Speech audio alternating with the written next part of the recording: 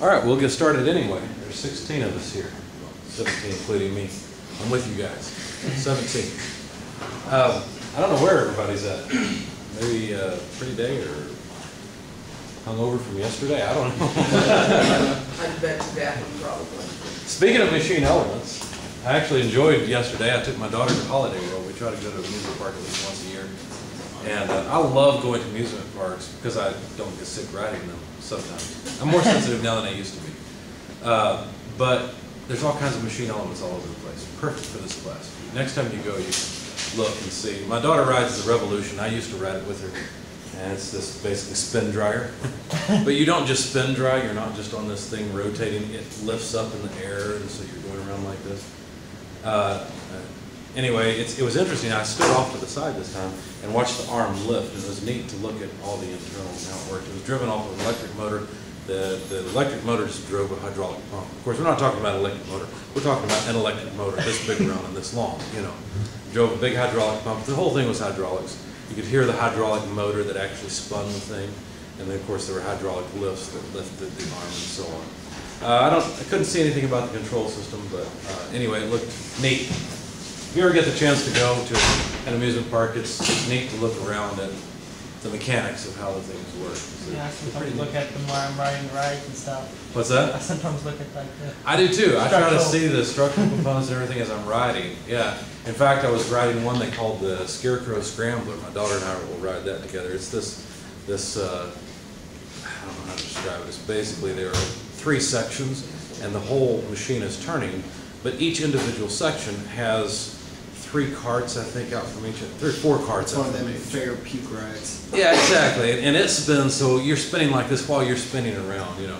And it basically is, is kind of, I guess, what a spirograph pin feels like, if you guys ever played with spirographs. It's about how, you know, your motion is, is similar to. So I was looking at it, trying to figure out how the, the cart on each arm turns around, the, the group of four carts. And it was neat because there was actually a shaft that came from the center of the, the main spinning, uh, here, hang on. I did find myself uh, this weekend at the gym staring at like the really large, expensive like power rack they have, Yeah. looking at all the different weld lines and all the fasteners everywhere. Like, it's like, man, I don't know why I'm doing this. Well, we're starting to affect your brain. Yeah. Scrambler, let me spell it right. Yeah, this is what it looks like. There we go. All right, so basically, you got four carts on each of these points, and those carts spin around an axis here while the whole thing spins around the central axis. There are shafts, I noticed there's a shaft running out each of the arms at the bottom. There's actually what's called a bevel gear down at the bottom. Can't see it, but where this arm connects, there's a bevel gear, and another shaft that runs up this way, so that each of these four carts can spin around this point on the arm. So, anyway, it was a lot of fun, I enjoyed it. Um, You see a better picture, here, there's a better picture there. You can see the four carts off. Like I said, there's a shaft coming out here, and then you can actually see the bottom of part of the gear here. Must be bearings at either end to support it. And uh, I'm sure that these members are under tension, don't you think? yeah. right? Because you notice that these arms are pivoted here and here, so the whole thing can move like this. It's interesting that they used a four-bar mechanism here, but we'll get into that later. Uh, and then these are supports going out here, so. Anyway, I thought it was neat. I wonder what would happen if everyone rode on one arm. Might not be good. I always try to balance out rides when I get on, because I don't want you to read the newspaper tomorrow about me dying in holiday. Well, if you notice, that's what the um, people who tell you to get on, they tell you to get on. That sometimes they do try to have you balance the ride. My daughter wanted to ride the Hallow swings at the end. Okay, I don't know if you guys know, it's just swings that go up in the air and you go. And I noticed this guy was in a hurry because he didn't bother balancing the low. Pretty much everyone was on one side. You hear those going, you know, the frequency going up and down as it went around. And it was, I thought, hmm, I'm not sure. I wish my daughter hadn't rode it, and I'm glad I didn't. it. Uh, Well, I've got some good news and some bad news. I don't know, I guess it depends on how you look at it. It's all just one piece of information. No one posted anything to the discussion. I guess what that, except for me. I've posted my brainstorming. I I guess that means you guys don't care. So I'm gonna make an executive decision at this point, and we're gonna go with the precious, precious plastics. Because I'm excited about it, and I want to do that project. So we're gonna go with that. but you still have some freedom. In fact, the freedom is what do you want to make out of plastic? And so here are some really simple ideas that I've got. Uh, if you guys know me, I'm kind of weird in many ways. One of the things I do is I drink directly from two liter bottles. and I don't drink sugary cokes, I drink zero calorie and caffeine free because I found that caffeine gives me headaches when I stop drinking it. So it's basically water. The things that might kill me are the sodium benzoate and the aspartame. The aspartame is just going to make me more forgetful, so you probably won't notice. And then sodium benzoate supposedly won't hurt me unless there's extremely high quantities. So basically, I'm drinking water. At least that's what I keep telling myself. So I need a handle because it's kind of a pain to hold this two liter. So I thought, well, we could make handles. That would be cool. So that's one of my ideas. Of course, I've bought some of these. These don't work very well for my daughter's hair. The style that I need, I'll bring in. I'm going to make dimensions of it. And that'll be part of my own personal project. I'm, we've got to come up with a couple of basic components. For example, we'll have to have a machine for chopping up plastic because we're going to recycle plastic. So we have to have a grinder, essentially. We have to have an injection molding machine because so many parts are injection molded, that just makes sense. Beyond that, I'm not sure what else, what other machines we'll need, and it will depend on what type of product you want to make. As I was looking around, I also saw this interesting device where you screw the two liter in, you have your own little fountain, you can open that was cool. So these are just the ideas. Anybody ever seen these before? I was, I happened to be in Hobby Lobby when I saw some of these. They're basically two two-liter can lids put together back to back. So you can put liquid in one, turn it over, and it's, it's kind of like a, a hourglass, except the purpose of this is you usually put liquid in one side, and you make a tornado. It's supposed to be a sciencey thing, probably for you know middle school and uh, elementary school. But I thought it was neat anyway. Since I got plenty of two-liter bottles, I thought that would be kind of cool. And I thought it might be neat to make a modification of this add a tap off to the side where you could actually pressurize this because once you get to 320, we explode some of these bottles. Maybe I do it at 220, I don't remember. The, uh, I guess the aspartame is kicking in.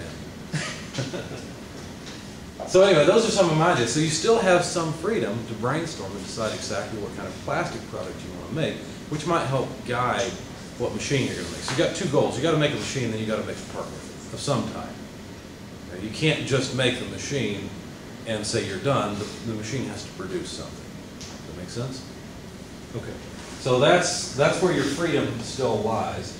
I thought we'd start off, first of all, uh, in the slides. I'll go through the rest of the slides, and then what I'll do is I will put the teams together, and you guys can take a few minutes and brainstorm about exactly what machine you want to build based on what product you want to make.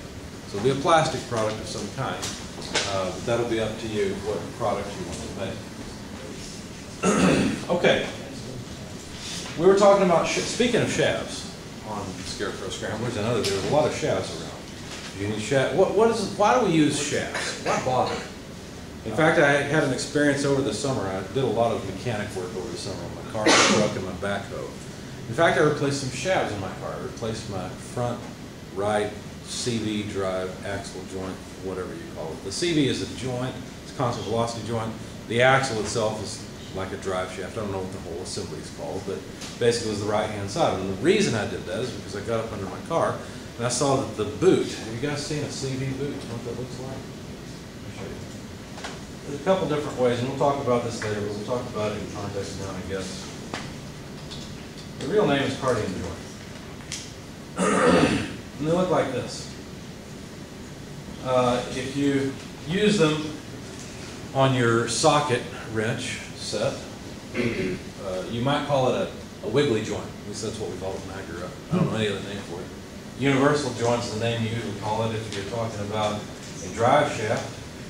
Typically, drive shafts will have two universal joints, and there's a reason for that. I'll explain what that is later. Okay, so if you've ever, especially on a pickup truck where the shaft runs to the back wheels, you'll see these if you get down and look underneath it. Uh, a lot of times what will happen if you, you're having trouble, you put it in gear and there's this clunk before your vehicle takes off. It can be looseness in these joints and sometimes you gotta replace them. Basically, there are needle bearings in each one of those to transmit power.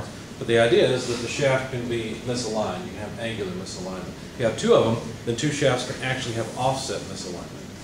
So anyway, uh, the classic mechanical engineering name is a cardan joint. Um, and that's, but that's not the only way uh, allowing two shafts to have different angles, there's also CV joints. And the problem with the cardan joint is that the intermediate shaft does not rotate at a constant speed. It actually increases speed and slows down. That's not a very good picture of what I want. A constant velocity joint solves this problem. Uh, And basically the, here's a typical CV axle, though it's not very large. Zoom in a little bit. It solves this problem where the intermediate shaft actually rotates at the exact same speed all the time as the, the other shafts. Okay, so there's no, um, the, the, a universal joint can, or a cardan joint can induce vibration because of the oscillation. So this is a solution to that problem, especially where there's gonna be typically very large expected angular misalignments because you're gonna turn your wheels. You can't just go straight. So this is the front drive shaft on a front, front-wheel drive car. And these CV joints are covered by what's called a boot, and then the boot is made of rubber, of course, it degrades over time. And then the, the grease can leak out of here, and then you no longer have a CV joint, you need, you have a part that needs to be replaced. So I replaced mine over the summer because I noticed the boot was uh, going bad. I looked at the price. Uh, The, the problem is these boots, you gotta take the whole shaft off to slip the boot on. There used to be something that was called a split boot that you could buy, where the, the boot that's around this rubber part was actually split. And so you could fold it around and either glued it or you had some mechanical fastener that held it in place. I guess those didn't work very well because you can't hardly find them anymore, especially for the, well, of course, for the size that I have on my car. And so I had to buy the whole axle. I expected to pay about twenty dollars or so, thirty dollars at most for the boot. I got the axle for about sixty, so I figured I was doing okay. Figured probably the other boot was gonna go out pretty soon anyway, so why not just replace the whole axle? So anyway, drive shafts, well, why do we use drive shafts? Transmit power. Transmit power, that's the whole point of the shaft, is to transmit power, right? Now, you said transmit power, that was a good answer, you didn't just say transmit torque. Sometimes you want to transmit torque, but if you have a, a, a rotational speed, then your purpose is to transmit power. Okay? All right, so there's a, an that's what I was looking for before, for the exploded view of the uh, constant velocity. Looks a lot like a ball bearing, but it's, there's actually, the, the balls are used to transmit power, but also to allow the, the misalignment. All right, the shape here is also very important, but we won't go into all that. We're not gonna study these in this class, just, I'll mention them. The common problem is that the boot tears and you gotta fix it.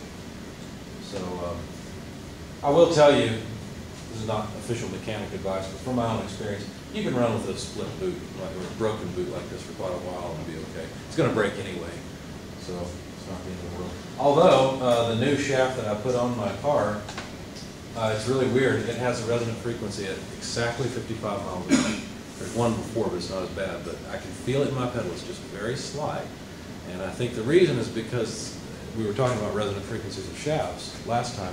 Well, I think the reason, I, I compared the diameter of the shaft itself on the OEM unit that was original from the factory in my car to the one that I got from the, the auto parts shop. The one from the auto parts shop, shop is noticeably smaller in diameter, it's not as large, it's not as thick. What'd that do to the resonant frequency of the shaft? Well, what would it do to the stiffness of the shaft? It would decrease the stiffness, which would decrease the resonant frequency, so I'm not really surprised. There are actually dampers you can get to put on these, some of them come with dampers, they're rubber pieces that go around uh, the shaft and help to uh, dampen out those oscillations. But anyway, if you've seen my car, you know why I'm not worried about it. A slight vibration the pedal's not going to affect me, there's plenty of other things the car needs. All right, so anyway, what are the effects of machine elements on a shaft? Well, machine elements apply loads to shafts generally. And so, for example, it's common in industrial shafts to have gears riding on the shaft. Now, if we were to consider a gear pair, okay, so gear A and gear B, where, let's see, this is setting up, gear A drives gear B. So gear A is pushing on gear B, then the force on gear B is in this direction, right? So the rotation is clockwise for gear A, counterclockwise for gear B. A is pushing B, so A is pushing B to the left to make B rotate counterclockwise.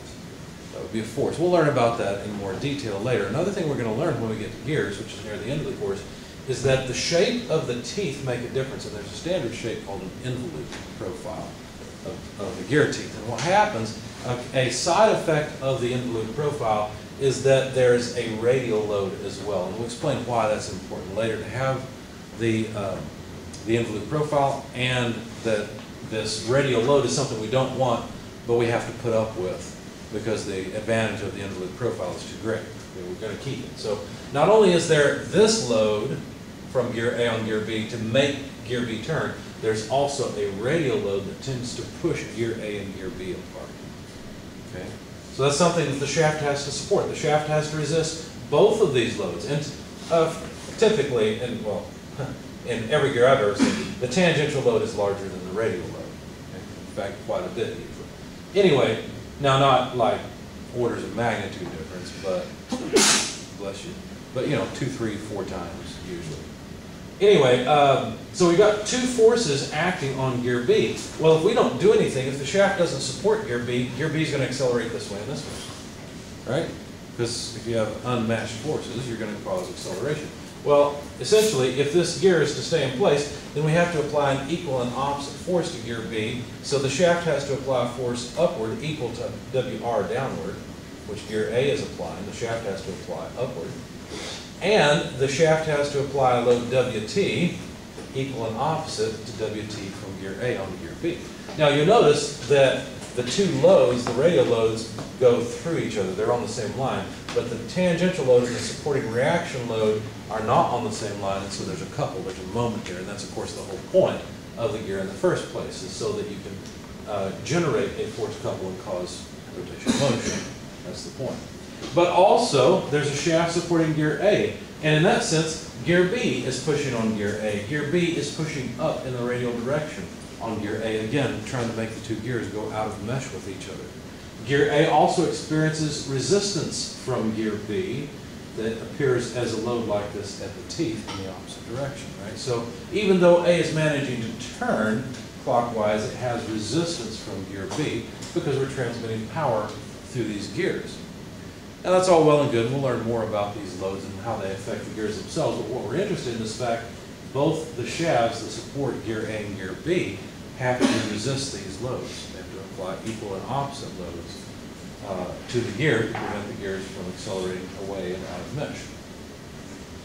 Now, here's some stuff that we will get to a little bit later when we talk about gears, but for now, we're going to need these equations so that we can calculate the magnitude of the loads that are applied to the shaft. Because if you notice, the magnitude of the loads on the shafts are exactly the radial load and the tangential load, right? Equal and opposite loads must be applied by the shaft onto the gear. Therefore, these loads are essentially applied to the shaft. Does that make sense? So the shaft is going to see WR like this and WT like this. It will be exactly those magnitudes.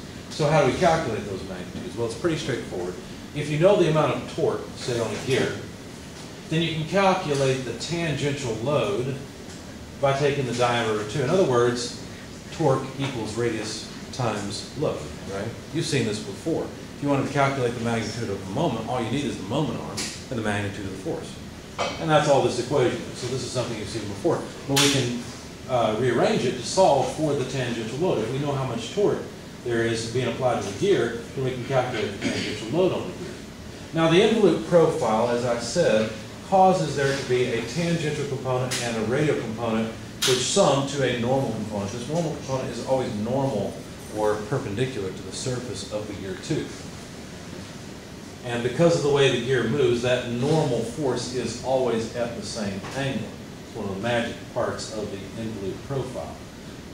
Like I said, the part we're really interested in is this tangential piece because that's what tends to cause rotation and torque in the gear, and that's why we have the gear in the first place. But the radial load is also useful. So here's a way to relate the tangential load to the torque. Here's a way to relate the radial load to the tangential load. It turns out that this angle phi, which is called the pressure angle, is constant. It depends on what gear you buy. There are some common pressure angles. 14 and a half degrees is not used a whole lot anymore, but 22 and 25 degrees, I think it's 22, 20 degrees. And, yeah, 20 and 25 are used frequently now. So uh, this pressure angle will, it's going to be 20 or 25 degrees for just about everything, but you have to know which it is. Okay? And so you can calculate the radial load from the tangential load if you know what kind of pressure angle you've got on the gears. That'll just depend on the gears themselves. And then the normal load, the magnitude of the total load, can also be calculated from the tangential load. So here's some equations that are useful, because in posing a problem, we'll say, well, this gear transmits a certain amount of torque.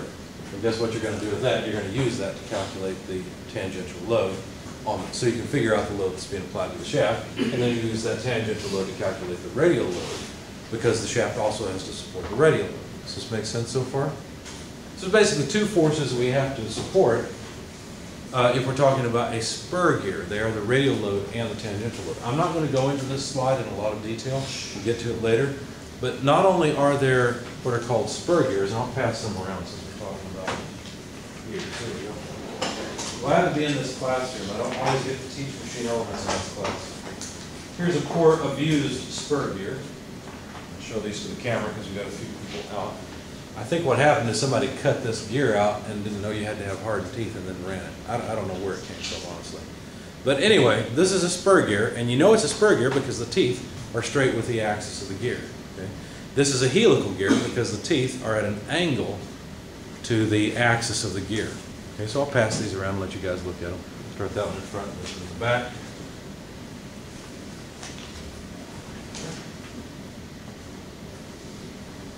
And so for spur gears, we'll end up with a radial load and a tangential load. But when you have a helix angle, when the teeth are at an angle, you also end up with an axial load, a load along the axis of the shaft. So if you have a shaft that runs this way and you're applying a load like this, you're going to need thrust bearings on that shaft to prevent it from moving. Does that make sense? Okay. So just know that helical gears have three loads, tangential, radial, and axial. And here's some equations, I think there's some equations, yeah. Uh, Wx is the axial load, where is it on here? Here we go. Wx is the tangential load multiplied by the tangent of psi, is it that psi? I don't remember. I think it's using psychology, so I'm pretty sure that's psi. Anyway, it's the helix angle. It's the angle that the teeth make with respect to the axis. Yeah, so there's the helix angle. So you need the helix angle, the pressure angle, and then you'll be able to get the four loads. Now understand, this normal force is really the vector sum of these other three. So it's not an independent. That's why I say there are three forces to be considered. Okay, the tangential, radial, and axial load on a helical gear. If you add them all together, then you get the true normal force.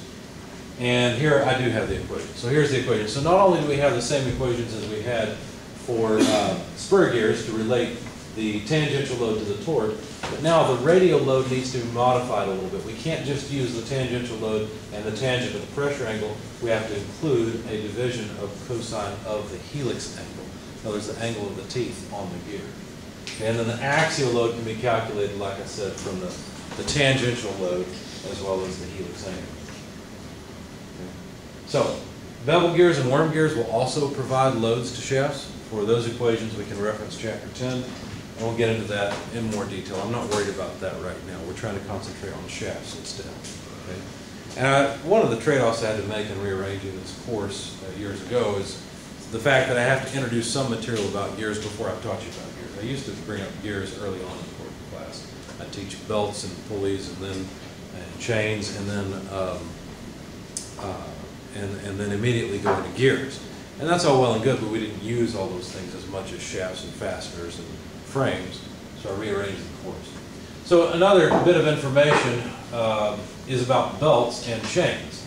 Now, on a chain, there's always a tight side and a slack side. So in this case, A, sprocket A, is the driving sprocket. It's the one where, say, the motor's hooked up, or you're pedaling, okay? Maybe it's your, your drive sprocket on your bike, whatever it is. It's the one pulling on the chain to make the other sprocket rotate, to make the driven sprocket rotate. In that case, there's a tight side and a slack side.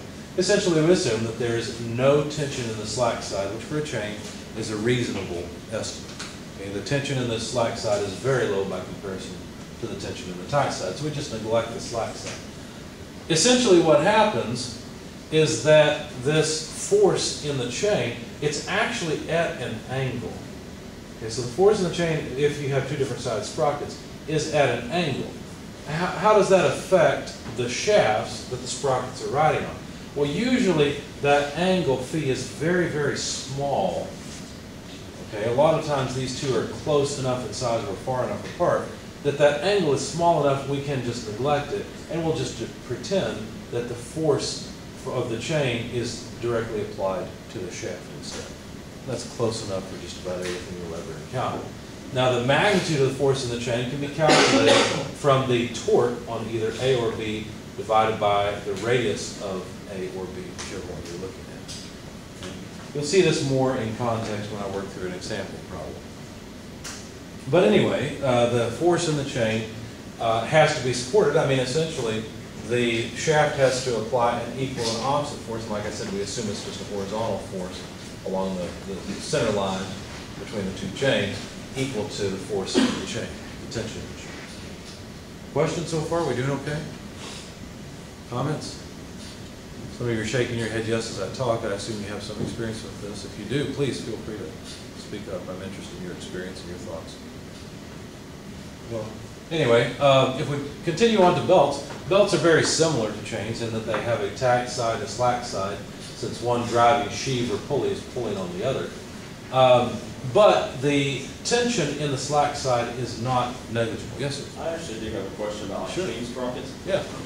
How's like chain stretch work? I know if you have a weird number of teeth, like the less teeth you have, the more likely you're gonna have chain stretch over a long distance. Like, does the, like the rotational angle of the gear, if you have one gear that's turned where the link is like pushing away, and then this gear is still turning and it's like driving something like Okay, it's a sprocket, first of all, not gear, but Yeah, sprocket, it'll, it'll stretch the chain and cause it to rattle. Yeah, um, I always thought that it was the more teeth you had on the sprocket, the better off you were. Yeah, And- and that's the case, like if you have like a squ- like a square pointed chain, okay, You get, if you have a weird angle, one's got like the Yeah. corner this way and one's got the corner Right. flat, it'll stretch the chain and cause a right. What, what you're pointing out is the fact that these are integer things, and as they come around, they may not be aligned perfectly, and so the chain has to stretch. Yeah, that's definitely a problem. Uh, I think another thing you can do, uh, if I remember right, an odd number of teeth on the sprocket helps, because you don't want this, the chains to come around exactly the same tooth every time. Okay. So you want, and I think that's more for even wear. But yeah, as far as chain stretch goes, I don't know a lot about it. I know that there's significant force in the chain. Another thing to notice about chains is that as you apply load to one side, right, to the links in one side, that side's gonna eventually come around, it's gonna be unstretched. So you've got, it's not fully reversed, but it is still a fatigue type load, and so chains don't last forever because of that. As far as stretching goes, uh, We just had an issue with it at work and we had to contact some people to get information on it because yeah, we designed the conveyor and every time it come around, it jerked real hard. right, And they said it was because we had a tooth that was pulling on the chain Right. and a tooth that was resisting the pull and it was causing the whole thing to buckle the chain didn't have much play in it. Right, the thought of, of two squares is a really good way to think about that and to understand what's going on there. You- You're right about that. Um, I suppose that both the machines have inertia, and so the chain has to give at some point. Yeah, or your machine's not structurally sound enough, and that's what's flexing Right. instead of the chain. Right, That's so what we had going on. Because we had the C channel on both sides, that the flange is out, Yeah? and every time it pulled around, we had to joint the center and then pull up on.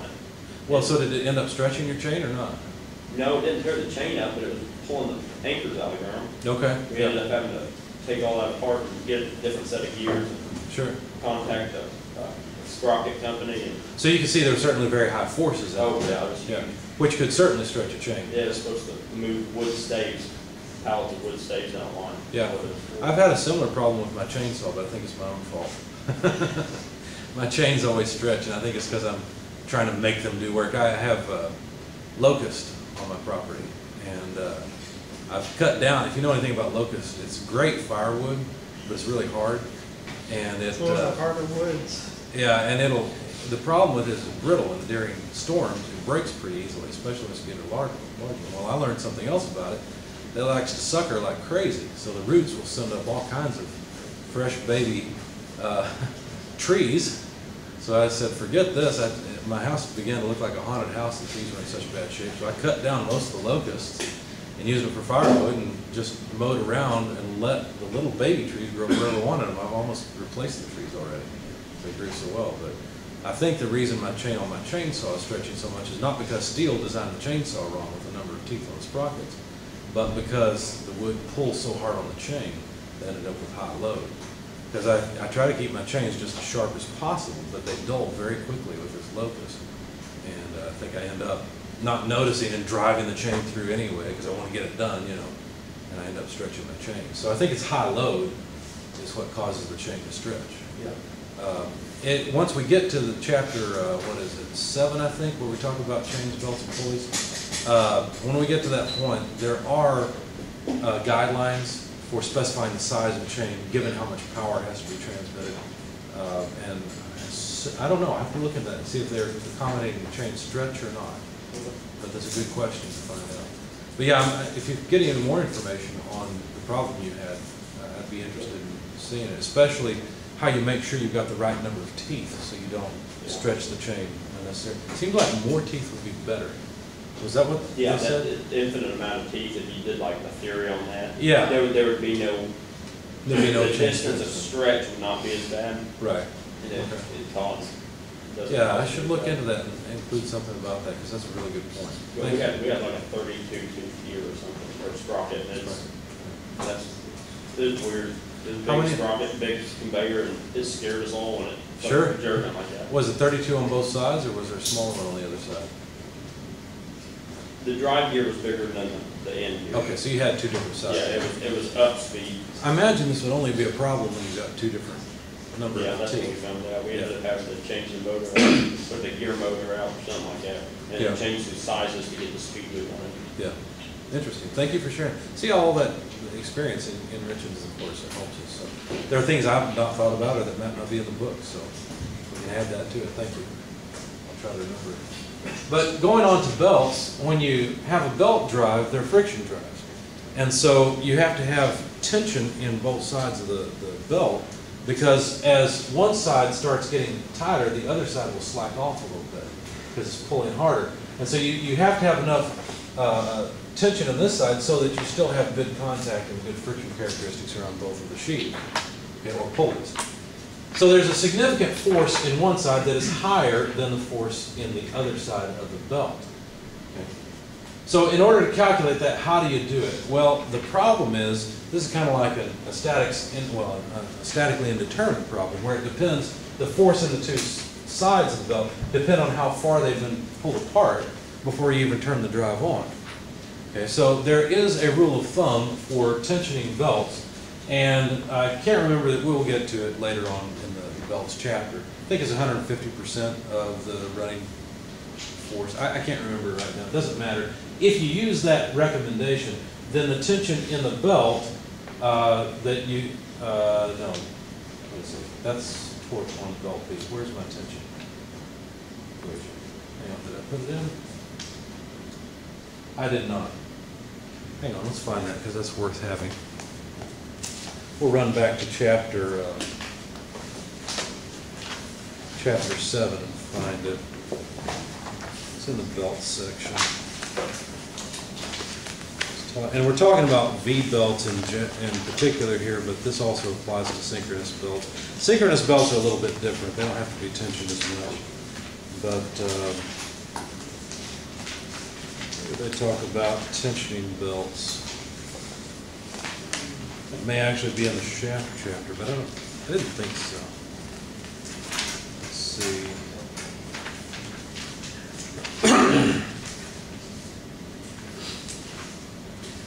Belt tension. I mentioned it there. I don't see it. I'll find it in the break and then I'll point it out. E- Essentially, there's an equation that will allow you to calculate the force uh, in the belt on the slack side and the force in the uh, tight side. And so there's, if the belt is properly tensioned, then you can get at what these two forces are and then calculate the, the force from the belt. You just take, you just assume, again, because the angles are small, you just assume that the force from the belt acts along the center line and you just add the two together. So it's pretty straightforward. But understand the force in the belt depends on how much the belt is pre-tensioned. So I'll find that equation for you at the break and share it with you. I need to throw it on this slide uh, because it's important. But then that, the, those forces then are forces that the shafts themselves have to resist. All right, now, flexible couplings. There are many different types of flexible couplings. I've already shown you two, constant velocity joints and cardan joints.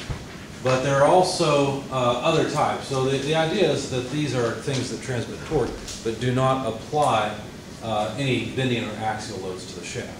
So the force from a chain or a belt or from a gear is going to apply a bending force to the shaft, especially if the thing is cantilevered. If it's straddled, it's still going to apply significant loads to it. Okay, now, what weakens a shaft? So there are loads applied to the shaft. What weakens a shaft? Well, anything you cut out of it, any stress concentrator is going to cause a weakening point in the shaft. There's a lot more to say than what we've got here, but here's a uh, profile key seat, uh, key seat and a what's called a sled runner key seat. And there's a lot to say about the radii and the size of the, the key versus the shaft. For our purposes, we're going to assume that any profile key has a stress concentration factor of 2 and any sled runners 1.6. These are not the gospel truth. Okay, these are just in the ballpark so that we don't have to focus on sled runners and profile key and be worried about the radii at the root of these features as well as their size. Okay, these are reasonable for keys that are sized reasonably to the shaft, and we will get into keys as well. There's a given a shaft diameter, there's a standard size key that goes in it. You don't choose just any size you want. Okay. Um, but rather than going into a lot of detail about stress concentration factors, we'll just use those two. So this is worth writing down if you're writing down notes. Also, if you're highlighting in addition or instead of, it's worth highlighting this in chapter 12, and this we do need to find. Oh, 458, I just found what I was looking for for belts. Yeah, so page 458, under key seats, you might want to highlight those two numbers or commit them to memory or something, because that's what we're going to use every time that we size a key. And I said I'd find it at the break, but here it is. On page 457, equation 1212 is the equation I was looking for back in chapter 7. If the belt is properly tensioned, which means, uh, here, it's in here somewhere. Uh, let's see.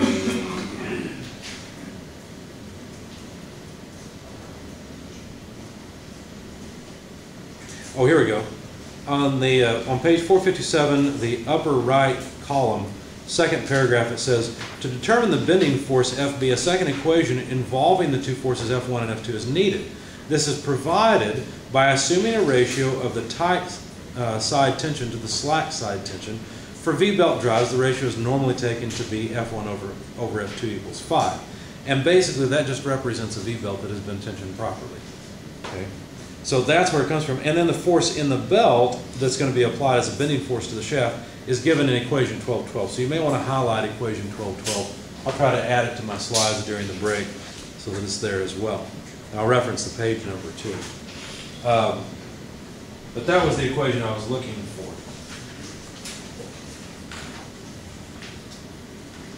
Okay, shoulders also will cause stress concentrations. And so we're going to take, uh, again, depending on the diameter of the, the step section and the large section and the diameter of the radius in the cut, all these things make a difference to the correct value of the stress concentration factor. But in the shafts chapter at least, most of the time we will assume that there are sharp shoulders and there are well-rounded shoulders. What's the difference between the two? You tell me. I don't care.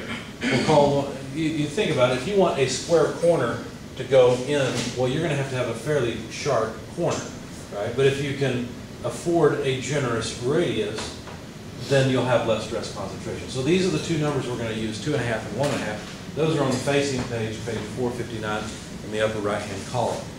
So you may, if you're highlighting, you may want to highlight those as well. Now, there's more to be said here about this. If you guys ever noticed, especially on the bearings that I passed around, did you ever notice that there's a chamfer on these? I'm going to pass this bearing around it's worth noting. And I'll hold it up to the camera, although I don't think you can see it. I'll just point out, on this side of this bearing, there's, it's not exactly square. There is a radius, but it's fairly small. It may be a, maybe, I don't know, I'm guessing a 32nd of an inch. But on the other side, there's a fairly generous, almost eighth inch uh, curve there, radius. Okay, so pass this around and note that on the uh, inner race. The reason for that is so that the bearing can be set against a shoulder, but the shoulder can be fairly generous, see, because the bearing is rounded off. So that's the purpose of that little, it, it can be a chamfer, it can be a, a radius, whatever.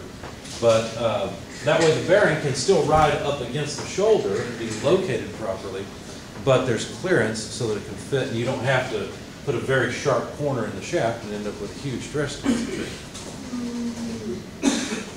Now, the ratio of the, the radius cut to the smaller diameter and the ratio of these two diameters does make a difference.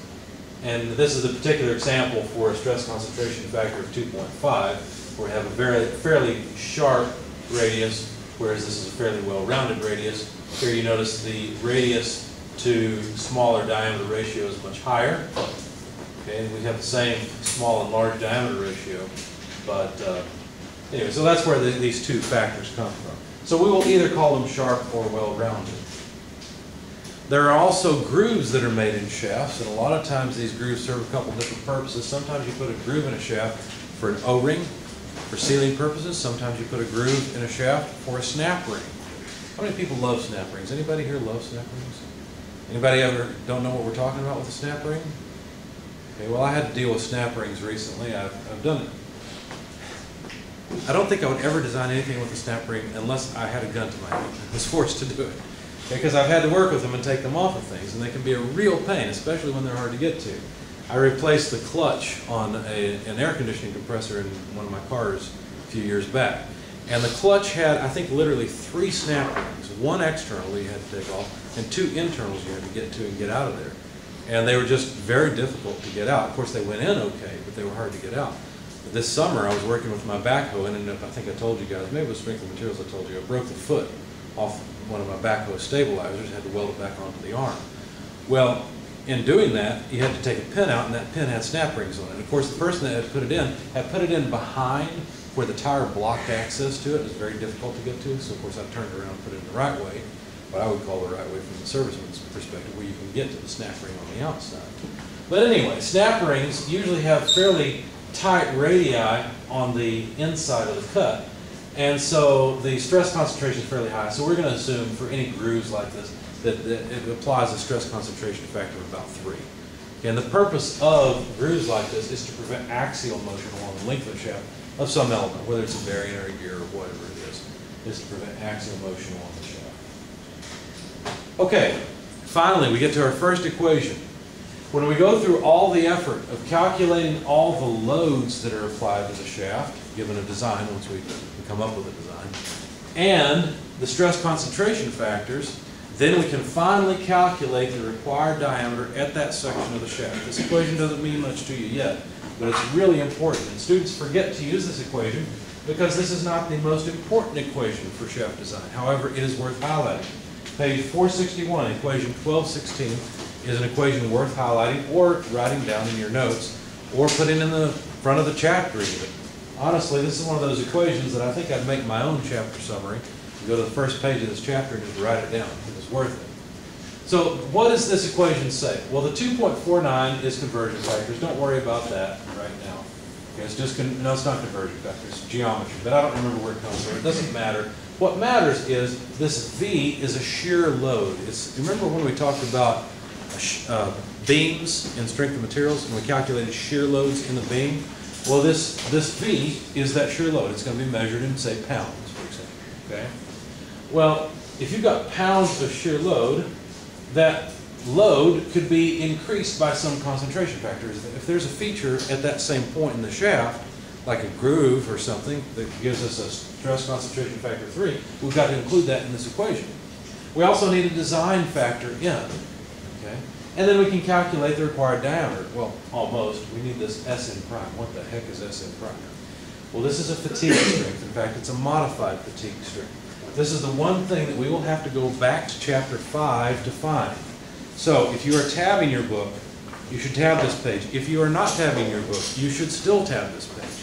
Page 171 is the page that you need, well, around 171, is what you need for dealing with or finding out Sn prime.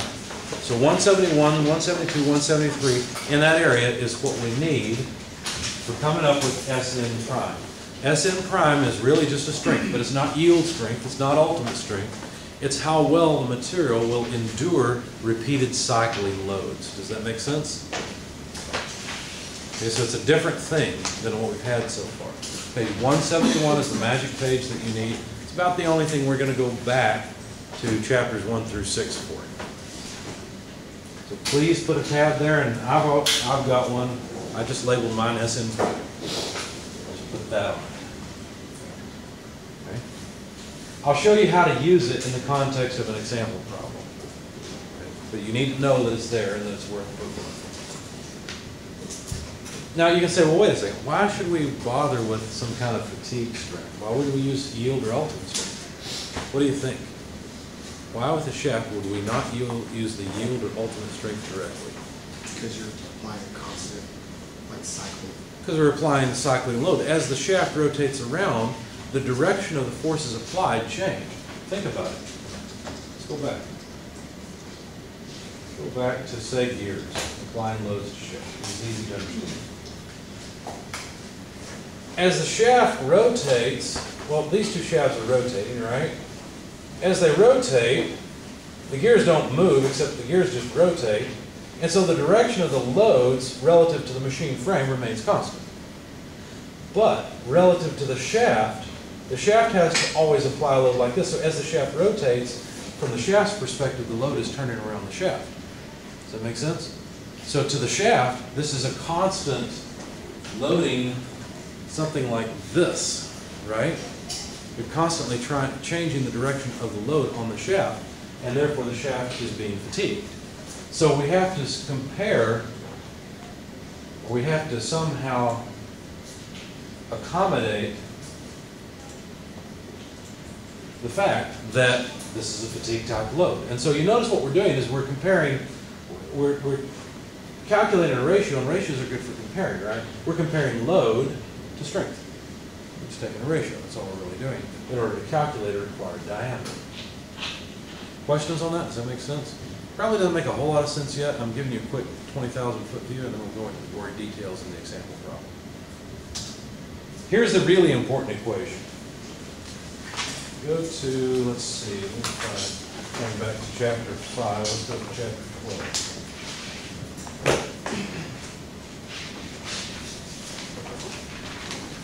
Here's the equation students see as the big, really important equation, and 99 times out of 100, this is the one that tells you, well, not 99 times out of 100, 9 times out of 10. This tells you how large the shaft has to be. So students focus on this equation and use it, and then forget the simpler equation. Turns out that this equation will usually dominate near the middle of the shaft, whereas the other equation will dominate at the ends. So this equation will predict a larger diameter near the center of the shafts than the other one, but the other equation will predict or will require a larger diameter out at the ends of the shafts. So don't forget, we got to use both. This is equation 1224. Now, there are some problems with this equation, before, we- but before we get into the problems, let me explain what this equation is doing. This equation is calculating a required diameter based on a safety factor N, stress concentration factor KT, applied to the moment in the beam. You can think of these shafts as beams for right now. Remember how we drew shear and moment diagrams for beams? And at every point along the beam, you could tell what the moment was? Well, we've got to do the same thing for shafts. The shafts are going to behave like a beam, and we're going to have moments along the length of the beam. Well, that's the moment that goes in here. You're trying to decide the diameter two inches down the shaft, plug in the moment two, two inches down the shaft, wherever that happens to be, and the torque at that point, and you can calculate the required diameter. But of course, the required diameter along the length of the shaft could vary a bit, because the loads along the length of the shaft vary. right? The The shear and the moment will vary along the shaft. Now, you'll notice we've got stress concentration here, and we're essentially comparing the magnitude of the moment to the, the fatigue strength of the material. Whereas here, this is the torque in the shaft, and this is the yield strength. Why do you suppose we would compare the moment to a fatigue strength and the torque to a yield strength? Why would we do that? Why not compare both to fatigue strength or both to a yield strength? Well, again, we've got some load that's tending to bend the shaft, Well, that's gonna be a fully reversed bending, isn't it? Because in the next instant, the shaft's gonna rotate, the bending load is still in the same direction, but the shaft is rotated. So again, the shaft sees a changing direction of moment load. Okay, so again, this moment load is a fatigue type load. However, the torque load, we assume, is essentially constant, because we're assuming we're talking about a machine that is running at steady state. It's not a machine that is like in my backhoe, where all of a sudden a shaft that's transmitting power is loaded more heavily because I'm lifting a load of dirt. We're talking about, because we're trying to keep things simple, we're talking about a machine that is constantly applying a, a given amount of load. So the torque at any point along the shaft is constant, there's no point in comparing it to a fatigue strength. What if you had wildly fluctuating torques? Then what would you do? You'd Probably compare to the fatigue strength, right? You'd modify this equation, plug in Sn prime here instead of SY, and use it. Now, notice that this is a vector sum. That's basically what this bit is here. Square root of the sum of the squares. And there's a reason for this. It, it's because the direction of the stress and the shaft are perpendicular to one another. As a matter of fact, there can be other loads. The, if you try to include the shear load with the moment and torque load, it becomes very difficult. In fact, when I was studying engineering, studying mechanical engineering, we did this. We actually included all of them. But we went back to basic strength of materials and looked for a critical point on the shaft and then calculated the actual stress there. Well, what happens is that the shear is usually small enough and not a, a very important amount, such that once you get a diameter here, you're going to get a diameter, say, you calculate out of 0.3592, okay? Are you going to specify on the print that the shaft needs to be 0.3592? No, you're going to put 0.4, right, and be done with it. Or you're going to put a half inch and be done with it. Well, usually there's enough extra, and especially with a, a design factor or safety factor, that including the shear is just not worth your time. Okay, the shear kind of comes along for the ride, and 99 times out of 100 it's going to be just fine.